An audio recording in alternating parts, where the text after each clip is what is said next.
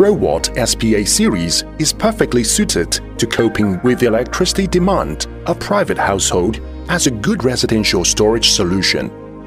Comparing with hybrid device, SPA need not to connect to the PV panels. Combined with battery, monitoring device, switches, the other PV generator and grid, it can help to maximize the self-consumption. SPA series can store energy provided by the grid or the other PV generator and discharge battery to meet the low demand when the electricity bill is high. And when grid power is blackout, it can be used as backup power. This is an effective supplement if you want to expand your on-grid device, regardless of the inverter brand you have. Here is the diagram of SPA system. This system includes original inverter, SPA, ATS, battery and sensor modules. There are three models in SPA series.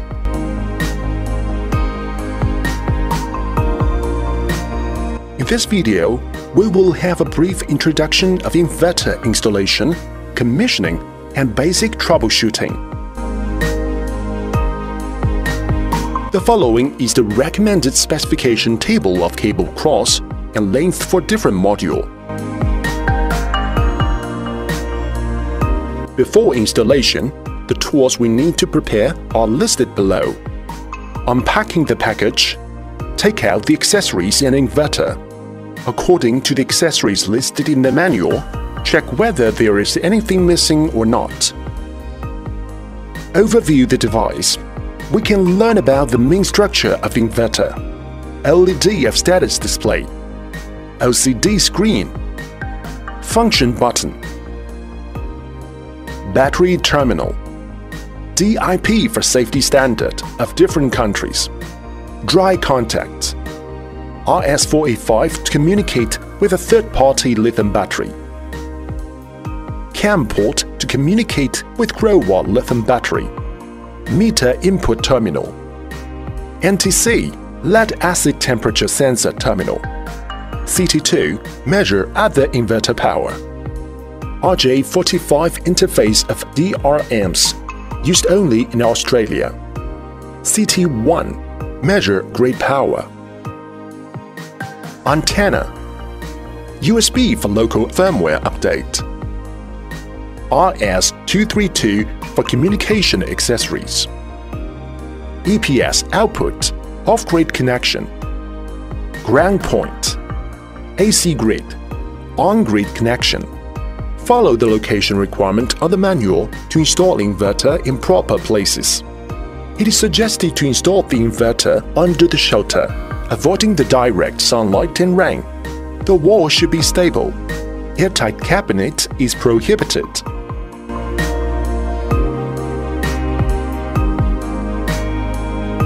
SPA has an AC grid terminal and EPS output terminal. They have different appearances. Firstly, please confirm the L, N, PE port of the connection terminal. Then thread cables through pressure screw, seal ring, threaded sleeve in sequence. Insert cables into connection terminal according to polarities indicate on it and tighten the screws. Push and rotate the threaded sleeve on to connection terminal until both are locked tightly. Plug the socket into AC output terminal. Clockwise rotation to tighten the socket. Counterclockwise rotation to loosen the socket. The EPS terminal connection is the same as the on-grid terminal installation. Note 1. On-grid terminal and off-grid terminal can't directly connect together. 2. Off-grid terminal can't connect to grid. It has adopted a footproof process design. When we make the battery terminal connection, the suggested distance between battery and SPA series is no longer than 1.5 meters, and the power line area must be larger than 6 AWG. As mentioned before, SPA has series communication terminals. In this video, we chose ATL6531 pack to storage the power. It has plug-and-play function. The connection with battery is simple. We just need to insert the positive and negative power lines and the communication line to the battery ports. Note that measure pack voltage with a multimeter and ensure of a dual battery system if the voltage difference is measured more than 1 volt. The difference shall be adjusted to be less than 1 volt either by charging the pack with lower voltage or discharging the pack with higher voltage before conducting the parallel connected installation. Our battery has one button shutdown function. Normally, we use one CT to measure the current through the fire wire. One most important thing is to pay attention to the direction of sensor. As illustrated below, open the current transformer and you can see an arrow labeled on it indicating the direction of current. The direction of arrow of CT1 means from public grid to user load and the direction of arrow of CT2 means from public grid to inverter if the SPA and existing inverter are installed in combination. Take CT1 for example. We need route the CT1 cable through an opening in the cable support sleeve. Thread the CT1 cable through the cable gland. Insert the RJ45 plug of the network cable into the CT1 pin connector on the inverter until it snaps into place. Note 1. We can change CT1 with meter which provided by Growatt to monitor the system energy. 2. If you change CT1 with meter, please plug in RJ45 for meter into meter and set sensor as meter. For the meter's installation process, please refer to the SPH video. 3. We use CT1 to detect the current from grid to the load and use CT2 to detect the current from grid to inverter installed in combination with SPA. Growatt provides two cables whose length is 5 meters and 10 meters. Growatt also provides RJ45 connector, so the total length can reach 15 meters. If the length is longer than 15 meters, it's better to choose the smart meter. When all the communication lines are installed, push the waterproof cover into the bottom, lock the screws fixed to the frame, and finally lock the waterproof cap. Note that for the communication cable connection 1. The CAN battery communication and RS485 battery communication can't be installed at the same time.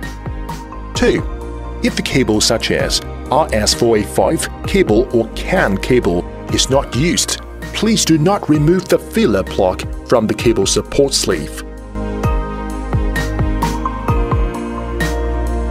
Grounding connection SPA series must be grounded by cable. The grounding point is shown as follow, and the minimum grounding cable wire diameter is 10 AWG 5.26 square millimeters. In SPA system, EPS terminal can't connect to grid if you want to use on-grid and off-grid together, you can use ATS, Automatic Transfer Switch device. For the detail of ATS installation, please refer to SPH video.